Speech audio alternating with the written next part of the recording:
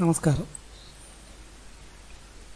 Practice on fire extinguisher എന്ന ജോബിൽ select the fire extinguisher according to the type of fire എന്ന ടാസ്കുമായി ബന്ധപ്പെട്ടിട്ടുള്ള video ആണ് ഇന്ന് അവതരിപ്പിക്കുന്നത്.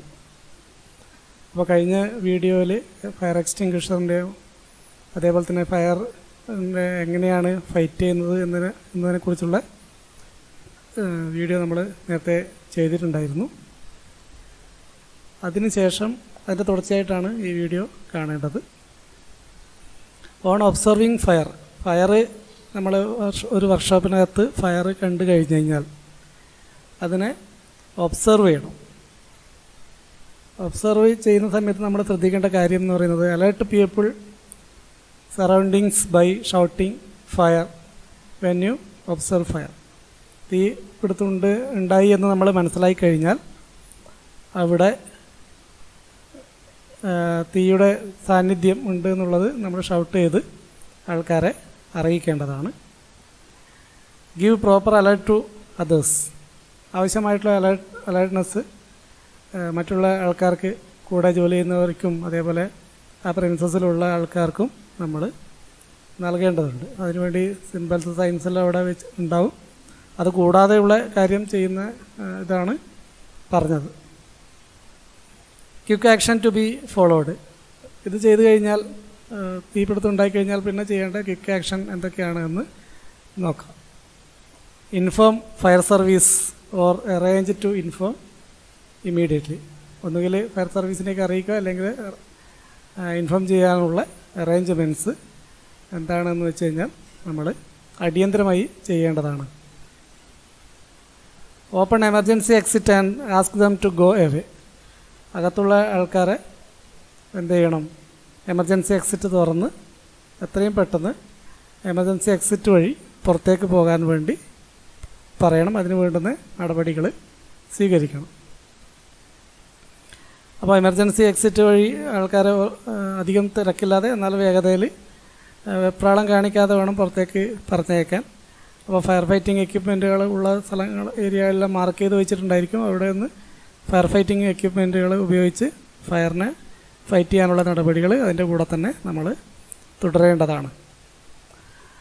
അനലൈസ് ദി ഫയർ അതിന് ശേഷമാണ് നമ്മൾ എങ്ങനെയാണ് ഇതിന് ആൾക്കാരെല്ലാം മാറിക്കഴിഞ്ഞതിന് ശേഷമാണ് ഈ ഫയറിനെ അനലൈസ് ചെയ്തിട്ട് അതിനെ എക്സ്റ്റിങ്ഷ് ചെയ്യുന്നതിനുള്ള നടപടികൾ സ്വീകരിക്കുന്നത്. ആദ്യം ചെയ്യുന്നത് put off electrical power supply power supply cut ചെയ്തു.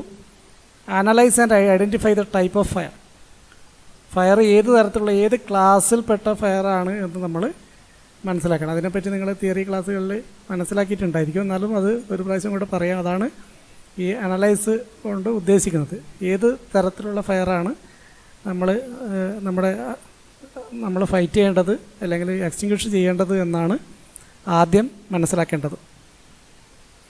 അപ്പോൾ അതിൽ നമ്മൾ ക്ലാസ് എ ഫയർ എന്ന് പറഞ്ഞിട്ടുണ്ടായിരിക്കും.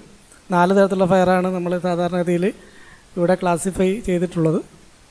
അതിൽ wood paper cloth etcetera solid materials ആണ് അതിനാണ് തീപിടുത്തം ഉണ്ടായതെങ്കിൽ ക്ലാസ് എ ഫയറാണ്. ഇത് നമ്മൾ മനസ്സിലാക്കുന്ന എന്തിനാണ് എന്ന് പറഞ്ഞു കഴിഞ്ഞാൽ ഏത് തരത്തിലുള്ള ഫയർ എക്സ്റ്റിങ്ക്വിഷറാണ് ഉപയോഗിക്കേണ്ടത് എന്ന് അറിയുന്നതിന് വേണ്ടിയാണ്. എല്ലാ ഫയർ എക്സ്റ്റിങ്ക്വിഷറും എല്ലാ ഫയറിനും ഉപയോഗിക്കാൻ വേണ്ടി പാടില്ല. അതാണ് ഇതിലുള്ള ഏറ്റവും പ്രധാനപ്പെട്ട ഒരു പോയിന്റ് ക്ലാസ് ബി ഫയർ ആണെങ്കിൽ oil based fire grease petrol oil അതേപോലെ തന്നെ ലിക്വിഫിയബിൾ സോളിഡ് ഇതെല്ലാം അടങ്ങിയിട്ടുള്ള ഫയറിനെയാണ് നമ്മൾ ക്ലാസ് ബി ഫയർ എന്ന് പറയുന്നത്. ലിക്വിഡാണ് കൂടുതൽ പ്രധാനമായിട്ടും ഇതിലുള്ള ഇൻവോൾവിങ് മെറ്റീരിയലായി കാണപ്പെടുന്നത്.